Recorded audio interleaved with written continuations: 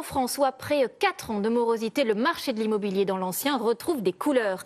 Trois réseaux d'agences constatent une embellie et parlent même de parenthèse enchantée. La pierre attire à nouveau les investisseurs et aussi les primo-accédants. Les détails avec Alexia Mayer et notre bureau à Montpellier. Après quatre années moroses, certaines agences voient aujourd'hui leur vente augmenter de 16,2%.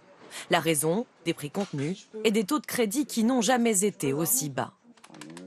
Les taux sont historiquement bas, on n'a jamais connu ça. Aujourd'hui, pour emprunter sur 20 ans, vous allez bénéficier d'un taux entre 1,08% et 1,60%. C'est historique. Euh, et du coup, ça permet aux ménages d'acheter plus ou d'acheter tout court.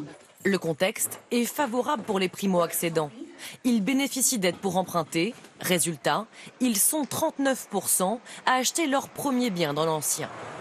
Une aubaine pour les agences immobilières et les acheteurs, avec un petit plus, les ventes se concluent plus rapidement.